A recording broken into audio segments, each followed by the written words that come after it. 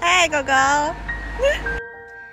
早安了，大家！今天星期二，我刚刚去了邮局回来，在邮局遇到了一个可爱的老爷爷。他那时候在排队的时候就在哼歌啊，整个人心情就很好。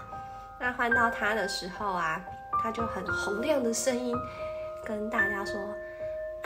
今天真是一个美好的一天，天气很棒，谢谢你们这么努力的工作啊什么的，超可爱的。啊，最后他要离开的时候也会说，希望大家都有一个美好的一天，然后快下班的时候就要去好好的放松，在旁边听的人就会感受到他那个愉悦的心情。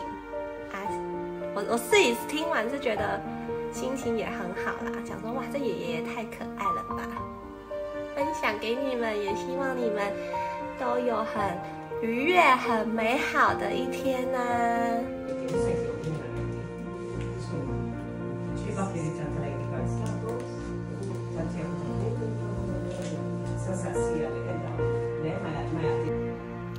没错。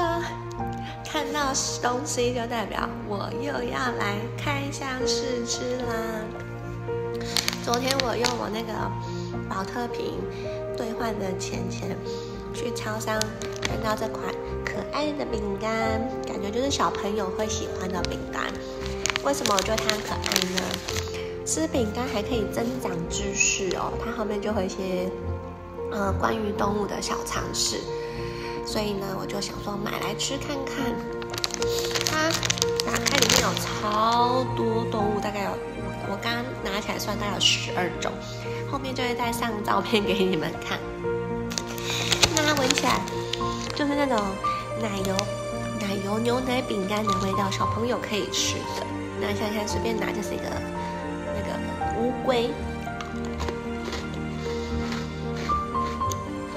很脆耶，但其实它是德国的饼干，因为网上有看到德国的国旗，但现在突然找不到，还是它是放在那个店店上面有显示这是德国的零食，就是牛奶饼干，脆脆的牛奶饼干。当你就是有些想吃东西又不想吃太多的时候，它就是一个很完美的小零食哦。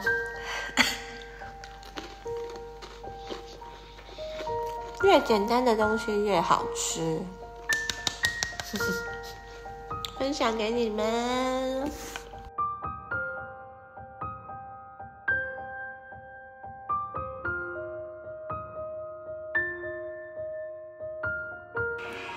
他们玩的超认真的，我在煮饭，然后他们在玩 Switch，哈哈，Switch。